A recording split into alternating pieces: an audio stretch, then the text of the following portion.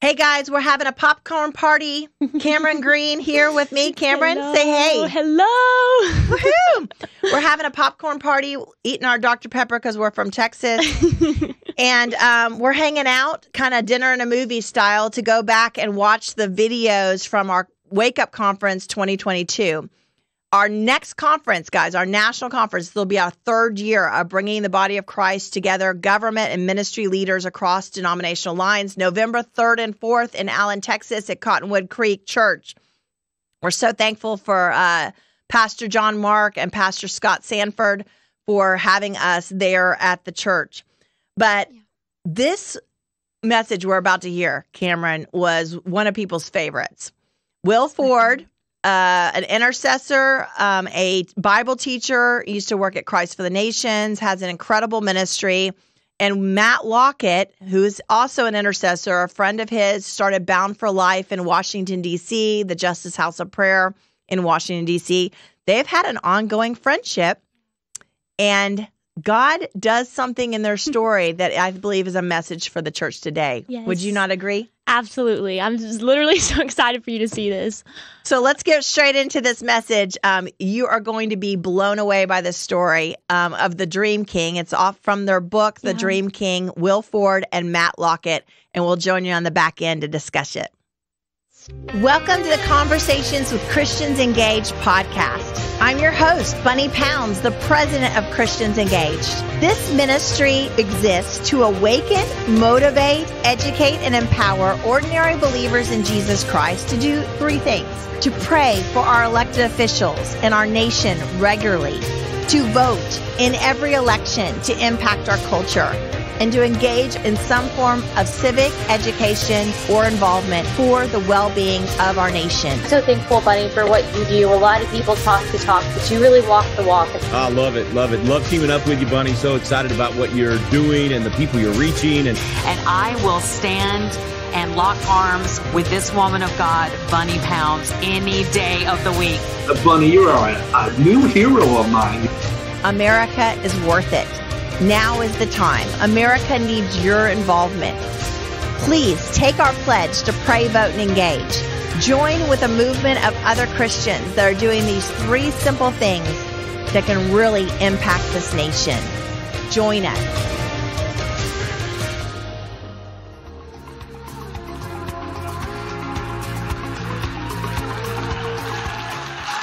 Good evening, good evening. It's an honor to be with y'all tonight. My God, my name is Will Ford of the Will Ford Matt Lockett team, and it takes two of us to come after Rafael Cruz. My sir, that was amazing. I love you and love everything you stand for this nation, my God. And so we're excited to be here with you tonight to share this amazing story of what God is doing to heal the racial divides in our nation. You know, we hear a lot about what's that thing, critical race theory or whatever that says that all white people are perpetual racists and all black people are perpetual victims. Turn to your neighbor and say, that's a lie. Yeah, that's a lie. That's a lie. But also, I believe that there are people right now, God is using right now, like us, that are going to bring the redemptive storyline, what God is doing to heal every divide in our nation. That's what I want to share with you real quick. I want to start off by sharing this with you about showing you a little clip from the I Have a Dream speech. Y'all have that? Show this one minute clip from the I Have a Dream speech real quick. I am happy to join with you today in what will go down in history as the greatest demonstration for freedom in the history of our nation.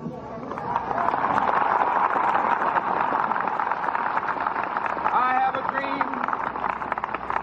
that one day on the red hills of Georgia, the sons of former slaves and the sons of former slave owners will be, able to sit down together table of brotherhood. I have a dream. Powerful, powerful speech, right? I love that speech. But y'all, did y'all know that that little phrase, I have a dream, did y'all know that phrase actually came out of a prayer meeting? That phrase was birthed out of a prayer meeting. Dr. King was in a church that had been burned down by the Ku Klux Klan. And a young lady was in that prayer meeting. She's 22 years old. Her name was Prathia Hall. Prathia, her daddy named after prayer. He was a powerful black preacher, and she was an amazing prayer warrior and speaker in her own right. But this day, they're in the middle of this rubble that hatred had created. And she starts praying, I have a dream. And she starts naming off her own list. Because they were taking Dr. King to the airport later on, and Dr. King said to her, Young lady, that, that phrase you used was really, really powerful. You mind if I borrow that? Say, yes, sir, by all means. And so for over a year, listen, for over a year, Dr. King used the phrase, I have a dream in his prayer meetings. It was part of his prayer life for over a whole year. Gets ready to preach about a month before the march in Washington. He's in Detroit and he's working on his speech that he's going to do next month, working with speechwriters. He says the whole speech verbatim, but he gets to the end and he starts declaring what he'd been praying for over a year. I have a dream. He starts naming off his own list. His speechwriters told him to leave it out. They said, Doc, that, that stuff is too cliche. Leave it out. But thankfully, his friend Mahalia Jackson was there in Detroit, and she said, Martin, you got to do that thing when you go to when you go to Washington. So the next month, he's he's in Washington, and if you get the right version of the "I Have a Dream" speech, he's reading it verbatim, and then he gets to the end, and you can hear somebody in the background say, "Martin, tell him about the dream."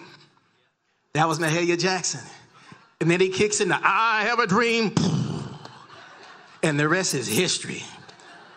All because he overheard somebody else in a prayer meeting.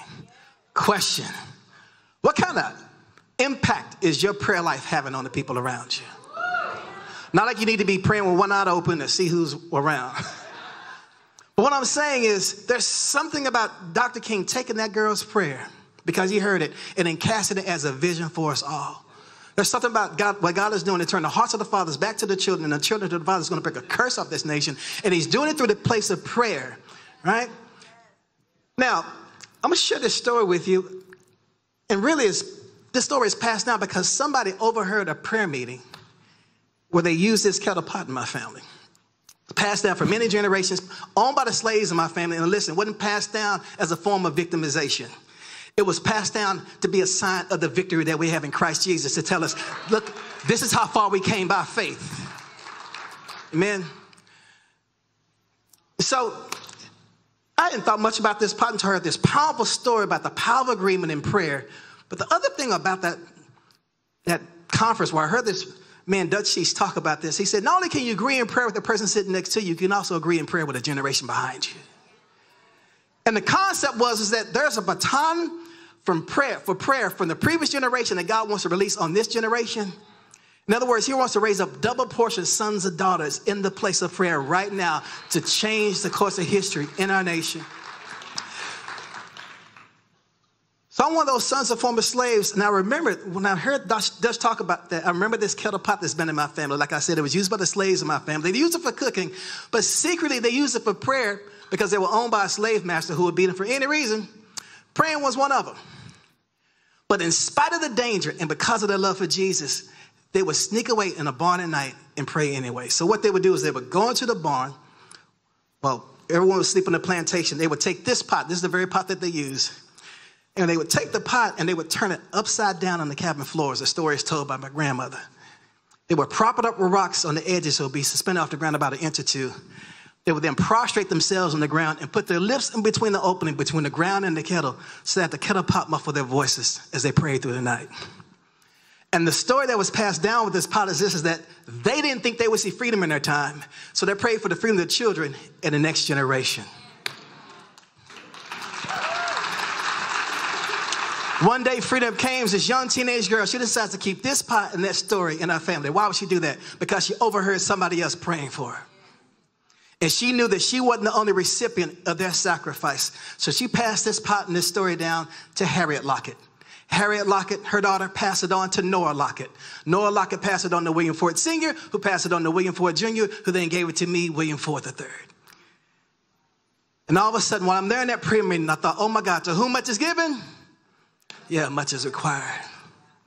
But beyond the obligation, I thought about the privilege. I thought, oh, oh, my God, I get to agree with the prayers of my forefathers for the freedom of this next generation. I thought about the exponential results that could be released and created from that. Shared it with Dutch Sheets. We became friends and we started talking about doing a prayer journey around the country and using this kettle pot as an object lesson on prayer. Listen, they use this pot to muffle their voices, but listen, according to Revelation 5 and 8, there's a golden bowl in heaven full of incense, which are the prayers of the saints. And it's a golden bowl. You know why? Because that's how precious your prayers are to God. Listen, There's a prayer bowl over Texas. There's a prayer bowl over our nation. God's looking for a new generation to resource the prayer bowls once again. Because it wasn't just the prayers of black Christian slaves praying back then, also the prayers of white Christian abolitionists and revivalists. They knew that if any person was a slave, was a Christian, they knew that person was their brother. Listen, they laid their lives down for each other, made them have their houses burned. They were also shot, killed, and lynched because they chose to suffer with the people of God rather than compromise and wink at slavery. It was the prayers of that godly remnant that prayed into being the first and the second great awakening. Had it not been for those revivals, slavery would have never ended in our nation. So I'm daring believe. Listen, the same God that just broke the power, he brought the power of Dred Scott back then, right? And he just brought the power of Roe v. Wade. and he's going to put an end to systemic poverty. He's going to stop our schools from being a pipeline to prison. He's going to shut down the opiate crisis in the suburbs. And he's going to shut down the crack houses in the inner city. He's just looking for a new generation of people who will drop their agendas, come together, and believe. Because the deal is this when the people that we cannot see can become optional, talk about the child in the womb when the people that we cannot see can become optional, it's inevitable that other people they can see can also be dehumanized and marginalized, even to the place of elimination. Some people say Black Lives Matter. I get what they're trying to say. I can get with the emphasis, but not the entity. They spend too much money on houses. Some people say all lives matter. I know what they're trying to convey, but God is saying drill down deeper. Life matters. Amen. But the Lord spoke to me and said, if you want to be a part of this, you got to deal with your own baggage. So he addressed that through this dream that he gave me about the dream of Dr. King. In the dream, I'm on my way to Dr. King's church in, in Alabama with my friend Lou Engle in the dream. And Dr. King came out of this house to get in this vehicle with us. So it's a dream, so he's alive. But he had this humongous white duffel bag with black handles on it. And then the dream, he starts emptying all this dark garbage out of that duffel bag. Then he throws it down violently and comes to get into this vehicle with us. In the dream, I thought to myself, man, that bag would make a nice souvenir. Shows you how petty I am, right? Like even in my dreams, I'm thinking, I went to Morehouse College, he went to Morehouse College, the bag would make a nice souvenir. But in the dream, I go to try to pick up the baggage, but before I could touch it, Dr. King grabs me by my shoulders and he says, No, do not go back and pick that up. And in the dream, he starts telling me what I need to do to heal the racial divide in our nation. I woke up from the dream in tears shared my friend Lou Engle. He begins to, we began to pray, God, what is the interpretation for this dream? God, remind me, what did Dr. King say to me? The Lord said to me, William, the white bag with the black handles. That would be the interpretation for your dream. I realized the black handles represented my ethnicity as an African American man. And the white bag has represented my unforgiveness issues with racism I experienced growing up. God was saying to me, William, get rid of your white baggage. You've been carrying it for way too long. I know what he's talking about because I know that's like a 13 years old to be chased by a car full of white guys, said, shouted the N word at us, said they were going to shoot and kill us. They're probably just joyriding, but listen, we were terrified. They chased us for almost two hours. I know what it's like to live in my first nice suburb neighborhood and have the same police officer every week for the first three months pull me over just for driving while black. I know what that feels like, but you know what I've done? For every police officer, and every white person in that community, I put those stories on everybody. I saw everyone through the veil of those experiences. So it's the devil's diabolical plot in this Revelation 12 where it says the devil is the accuser of the brethren. That word accuser, y'all, comes from the Greek word kategoros. It's where we get the word category. The diabolical plot of the enemy is just to categorize or stereotype each other so that before we have one conversation with each other, we put some bad narrative, some bad storyline in each other. God was saying to me, William, get rid of your bitterness, get rid of your resentment, get rid of your unforgiveness, get rid of your white baggage so you can get into a new vehicle that can bring revival and justice for everybody. And that's what God is shouting to all of us right now is this what color is your baggage? Listen, church, get rid of it because we need each other, because only a united church is going to heal a divided nation. Amen. So with that, my friend Lou said, hey, come bring your, your, your pot and share your story. January 17, 2005 at the Lincoln Memorial. Be a powerful day. But little did I know, I would meet this guy from Colorado at the time. And it was my good friend, Matt Lockett. Matt, please come share. Good evening. What a privilege it is to be with you here tonight. And uh, we're just excited to be able to share this story with you. Really, what you're hearing tonight is an origin story. We all like a good origin story, don't we? And uh, think about it this way I've, I've thought a lot about this. I've been involved with the pro life movement for a long time, and, and I think it's boiled down to this that at some point, God had a dream, and you are the manifestation of that dream. You are the embodiment of the dream of God. You, God didn't sneeze and you fell out in the timeline right now as some accident, right? No, God actually had a dream and you are the embodiment of that dream, and you are now here for such a time as this. And so, before anybody is tempted to get discouraged about this moment in time right now, remember you were made for this. You were fashioned for such a time as this. So, what I would like to do is uh, kind of pick up right where Will left off, and I'm going to hopefully share with you how my story got woven together with Will's story. And he mentioned this specific day just a moment ago. It was January 17th, 2005. And I'm going to start there, but I'm going to back up exactly one year, actually, one year to the day. January 17th, 2004. Uh, something really tragic happened in my life. My dad passed away unexpectedly. And so I'm sure many of you in this room have experienced something like that. And something really profound happens when you lose your mom or your dad. And I, I just think that, you know, you've spent your whole life receiving from them. Maybe it was a grandparent, but you know, hopefully they put a roof over your head and food on the table. But most importantly, they told you the stories, didn't they? They told you who you are and where you came from. And every family's got the good stories, the bad stories, and the ugly stories. We've all got that. But you receive from them, and then when you lose them, something really profound happens what happens is you now, a mantle gets passed, you now become the steward of the storyline.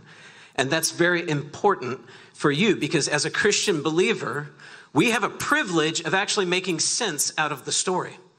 Because as Christian believers, even the bad parts we can find meaning from, even the, the ugly parts of the storyline, God can bring meaning and it helps shape our point of view. Amen?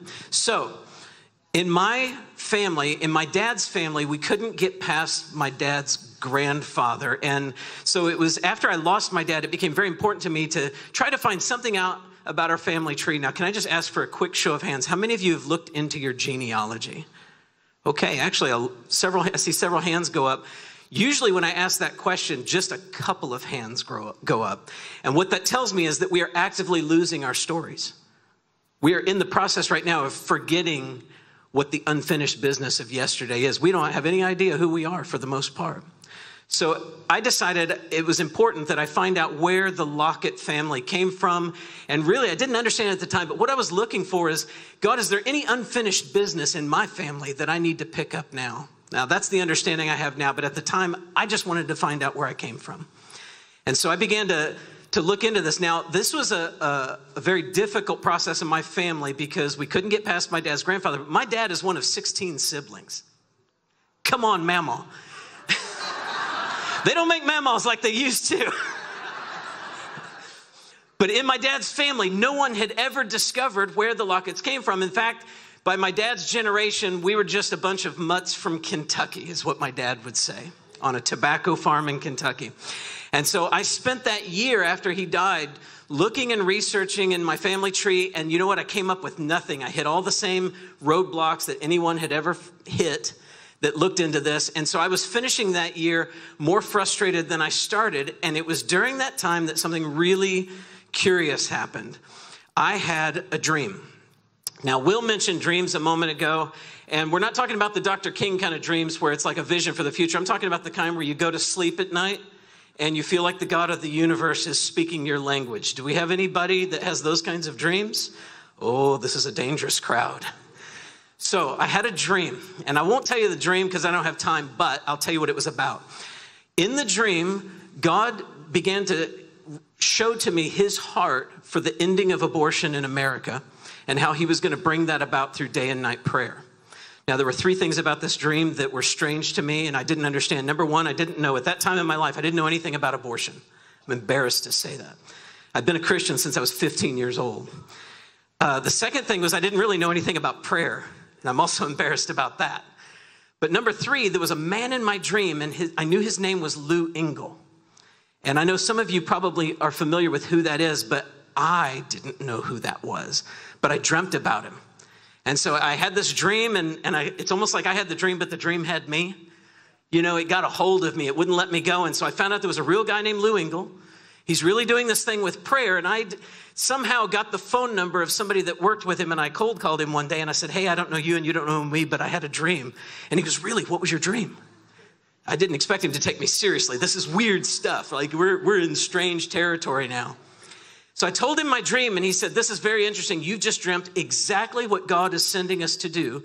We are going to Washington, D.C. to pray and contend for the ending of abortion in America. And then he said this We're going to do a prayer gathering on the steps of the Lincoln Memorial on Martin Luther King Day. Maybe you should come to it. God might have something for you there. Now, this is weird, okay? Uh, you know, God, do you really want me to take time off work, spend hard earned money to go all the way across the country? I lived in Colorado at the time go all the way across the country to go to a prayer meeting. And uh, God made it very clear that I had to go. And so I, I decided to go. I didn't know why I was there. I just kind of showed up and I didn't understand why we had to pray outside for eight hours in January.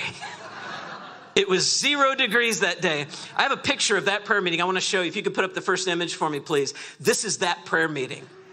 And so here we are. Of course, that's the Lincoln Memorial in the background. You'll recognize it. This is the spot where Dr. King gave the I Have a Dream speech. If you know who Lou Engle is, you might recognize him on the right side of the picture. But if you look on the left side and you see that arm that's extended out, that blue sleeve, and if you follow it all the way out to the end of the fingertips, you will recognize that is Will Ford. So the first place that Will and I ever came together was right there on the steps of the Lincoln Memorial. Isn't it interesting that I was there because I had a dream? And Will was there because he had a dream. All right, so we prayed that day and that night. There was a guest speaker. It was a guy named Will Ford, and uh, he brought out this kettle and he told the story that he's just shared with you tonight. Now, it's exactly one year to the day since my dad died, so I'm like a raw nerve that night. I'm a mess. And uh, had been looking and searching and didn't really feel like I found anything. And then I'm listening to this story from this man and this story of a rich spiritual heritage of ancestors who had contended for the destiny of America. And I was really provoked by it. But then he shared this little detail that I wasn't prepared for. And he said that this kettle was handed down to Harriet Lockett, who gave it to Noah Lockett, to Will Ford Sr., to Will Ford Jr., to Will Ford III, the man on the stage. I had my 10 year old daughter with me at the time on this trip, and she turned to me and said, Daddy, he just said our name. I'm like, I know. And so after the meeting, I went up and we were, it was in a church. And so we were standing at the altar of this church and Will and I began to compare notes. He actually quizzed me that night. He's like, Well, how did your Lockett spell their name? With one T or two? And I said, Two. And he said, Well, our Lockets only spelled it with one T. Where are your Lockets from? And I said, Well, I don't really know. My dad's from Kentucky. And he said, Well, our Lockets were all the way down in Louisiana. And we just thought it was this amazing coincidence. But you know what? It was enough that it connected Will and I in really a really powerful way. We became very close friends. God called me out of uh, my career in the marketplace, and as a result of this, I became a full time missionary in Washington, D.C. You're welcome.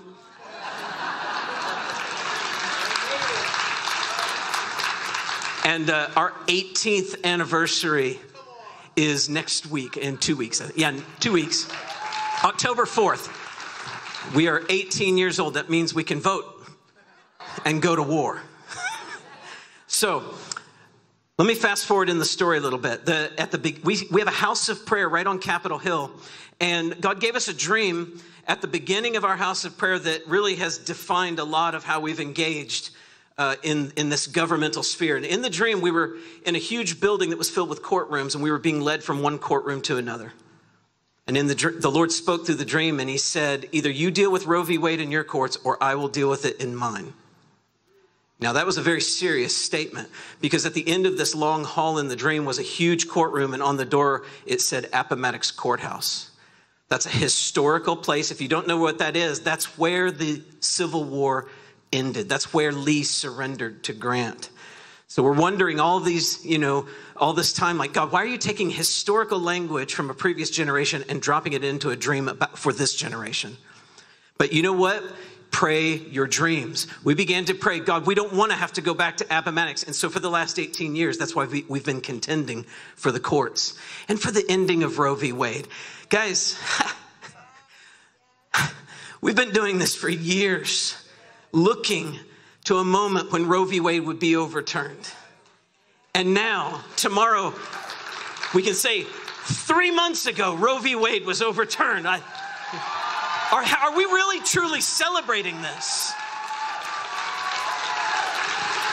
Because I'm in my dream, a dream fulfilled. God showed me this 18 years ago this month.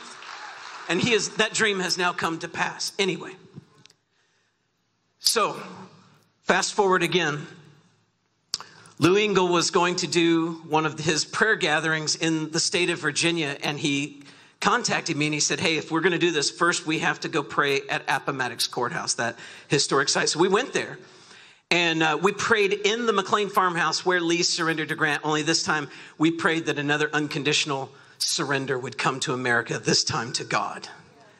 And as we were leaving, we went into the little visitor center, and Lou and I were standing side by side at a bookcase, and he grabbed the first book off the shelf that caught his eye. It was this book right here. And it just fell open to a random page. And I want you to see the page. If you could put up that next image, please. It was this illustration called The Last Shot, the Battle of Lockett's Farm. Spelled with two T's. And he asked me, What is this? I said, I don't know. So I bought it and I began to study it. What I found is that the last battle of the American Civil War occurred in the front yard of a family named Lockett, the Battle of Lockett's Farm. Now, would you agree that might mean something? So it was about this time that my older brother got the breakthrough on our family tree. And he called me and he's like, You're not going to believe this. I got us back to the year 1645. We came in as settlers through the colony of Virginia. And I said, Virginia, have I got a story for you? And I began to share with him about the end of the Civil War. And he stopped me and he said, Wait, that's not that place by Appomattox Courthouse, is it? I said, Yes, it is. Why? He said, Oh, I just found the documents on it. That was our family. So, what I'm telling you is that the last battle of the Civil War that ended slavery occurred in my family's front yard. Isn't it interesting that we've been praying that Appomattox dream for all those years? Well, I found the place. I want you to, if you could put up the next image, please, I want you to see it. This is the Lockett house, and so you don't think I'm exaggerating. There's the historical marker in the front yard that reads, Here Lee fought his last battle. I went to the house and I met the man who lives there, and he invited me in. I was stunned when I walked in, and framed and hanging on the living room wall was the Lockett family tree. And I had my brother's research with me. It was a hand and a glove. This is my family. If you could hold off on that image, please. And so he began to ask me what I know, and I didn't know much. And he explained that some of the Lockets went to Kentucky, some of the Lockets moved to the deep south, some were involved in historical events. But then he said this some of the Lockets left and went to Louisiana. And then he added, and in some cases, there was a clerical error on those handwritten census ledgers, and they accidentally dropped one of the T's and changed the spelling of the name. So I'm thinking what you're thinking right now this cannot possibly be true.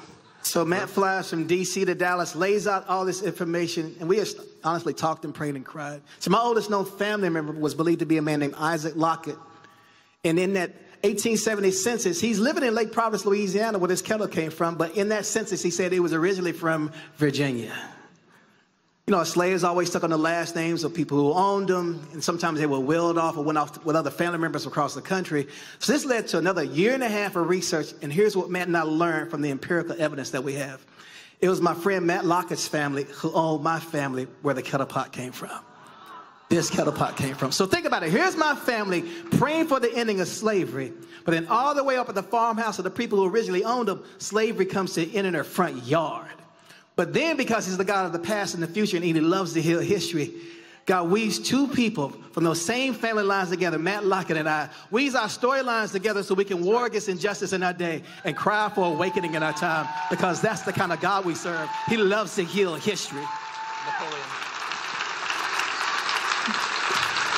Mom. Sit down, because you, you're going to make my friend from New York really mad. we won't hear Edmund Texas in real sec, but just real quick. Put up the next slide for me. This is Napoleon Lockett and Mary Lockett. This is how crazy the story is. These folks were the Gone with the Wind aristocrats, and uh, he owned lots and lots of slaves between he and his 11 children, you know, hundreds of slaves.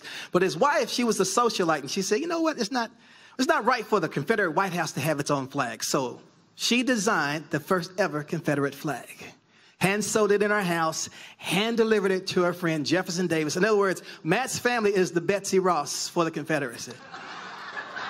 And so she came up with this flag. You go to the next slide. This is called the Stars and the Bars. But they thought that looks too much like the Union flag on the battlefield. So let's come up with a Confederate battle flag. And then they came up with this flag. But think about it. Through the same family where the flag of rebellion was raised up, next slide, the flag of surrender goes up in their front yard because God heard praying people. Yep. So this is what you have to understand is that it, Will and I didn't find this story out the first night that we met. You know what would have happened if we found this out the first night? Um, we, we might have been nice to each other or pleasant, maybe even shaken hands, but then we would have socially distanced for the rest of our lives, hoping to never see that guy again because this is painful. Think about this. Will and I didn't know any of this until after we had been praying together for about a decade. We've been running together, doing ministry together, just living lives close to one another. I love this man's family. He loves my family. I fight for his dreams. He fights for my dreams. I kind of think that's how this is supposed to work. Yes. But now think about it. For a decade, I've been listening to the story of the kettle, inspired by it, but now I found out suddenly that I'm connected specifically to this story, and I'm connected to the worst parts of the story. I'm connected to that of the slave owner. And I wish we had more time to talk about how God helped us in that moment, but I'm so thankful that He gave us the gift of relationship. Because, see, we, we can't bear this. This is what's going on in America right now is we're, we're trying to deal with historic wrongs, but we're doing it apart from relationship, and it will not work. And so I think what God is doing, what He has done with us, is just a little, it's a little snapshot, I think, of what God is wanting to do in this nation in terms of reconciliation and healing. But here's what's great. Once the lid came off the family tree, it just seemed like a treasure trove. And so what we found out is, yes, we had slave owners in my family, but in the previous war, in the Revolutionary War, revival came to that same part of Virginia. And I was reading a historic book about that revival, and I turned the page and I learned that one of my ancestors, Daniel Lockett, became a Methodist circuit rider as a result of that revival. And what's powerful about the circuit riders, and I love the history of the Methodist Church at that time in history, about 1779 when this happened, is that they were carrying the gospel to the frontier, but they also carried a thing called a manumission form, which was a legal document that allowed you to set your slaves free. Yes. Everywhere the circuit riders went, the population of freed slaves exploded because that's the power of the gospel that you're carrying right now. Not just to change your own heart, but to literally to reshape the world around you and bring reformation. Amen. So I'm here standing in this day, and it's like, yes, there's some painful stuff in my family, but there's unfinished business that goes back even farther. God had already started a storyline of redemption earlier. You see what I'm saying? You got to go back a little bit further, and it's a storyline of revival and so abolition. Like all of our family lines, we have these things called generational blessings and generational curses that represent these dominating themes of storylines. And what God is shouting to America right now, right now is this: What storyline do we want to be a part of? The healing or the hurt, the blessing or the curse? What storyline want to be a part of? Last thing that connects us. Just to illustrate this so we understand it. You know, during the time of slavery, it was illegal for slaves to learn how to read and write. It was also illegal for anyone to teach them how to read and write. After slavery ended, it still wasn't popular. And so they're in the Lockett Homestead area. It's 1867 and a former slave is trying to teach her young son how to read and write, but they're doing it in secret, like this legacy of the secret prayer meetings, because they feared that if they were caught, there would be negative consequences. And so there's a mother trying to teach her young son how to read and write, and one night in walks Lucy Lockett, one of my family, and she caught them red handed. But in that moment, Lucy chose a different storyline. She looks at the mother and she says, No, what you've chosen to do is very wise. And the reason we know the story in this much detail is because he wrote about it in his autobiography. Lucy began to tutor that young boy in how to read and write. He grew up, uh, his, his name was Robert Russell Moton. He grew up to replace Booker T. Washington as president of Tuskegee Institute. He was an educational advisor to presidents, and if you could put up the last image for me, please. In May of 1922, he gave the dedication speech of the Lincoln Memorial in Washington, D.C., where 41 years later, Dr. King would stand on that spot and declare, I have a dream. And exactly 41 years after that speech, Will and I would meet on the exact same spot. So think about it. This happened to two men who were led by dreams to meet each other at the Lincoln Memorial on MLK Celebration Day for a prayer meeting at the spot where Dr. King said, I have a dream that one day the sons of former slaves, the sons of former slave owners, will be able to sit down together at the table of brotherhood. So maybe the dream speech wasn't poetry, maybe it was prophecy. Maybe there's a dream king called the King of Kings, and his father's still going to answer his son's prayer. Father, I pray that they be one so that your glory could come so that the world will believe. Maybe God had forgotten about the prayers of our mamas and our papas. Maybe there's still hope for healing our nation. God bless you guys. Hey guys. Wow. Are you not floored? I'm telling you, we recorded Will Ford and Matt Lockett on our biblical justice class as well. If you have not gotten our biblical justice class that we released in uh, the summer, check that out because this story is amazing. Cameron. Yeah, I don't have words to be honest, besides like glory to God. I mean, I was, yeah, I was in awe. I truly, when I was done hearing that story, as I would think a lot of you are doing right now, just how great is our God. He, the fact that he had those details to the story intertwined before he even created the world. I mean, y'all think about that. Yes, before he knew those two people would meet on this and 10 years later discover that you know Matt's family owned I Will's mean, family. I mean, really? makes my heart like start pounding just the lord is he is so faithful and you have I, it encouraged me in my own walk with the lord i'm sure it encouraged you that we have like nothing to worry about um there is so much that we could say um matt's faithfulness to to respond to the lord and what he was speaking to him and his dream and all of that is just one thing um, and so to see like how the Lord will use that simple obedience to do something that's literally so unthinkable. I mean, the the home, the name, the the fact that they were friends for what a decade. Yeah, a decade. I mean, I can't I literally am speechless. Like it and I'm I love stories. And so when it makes me feel so small because I am so small and there's so much joy in being so small. Like seeing the way the Lord writes these stories. He is the greatest author.